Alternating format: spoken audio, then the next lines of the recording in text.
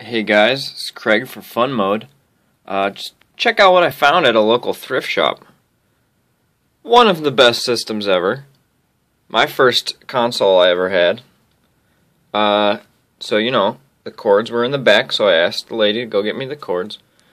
But, you know, she didn't bring me cords. She brought me Dreamcast cores.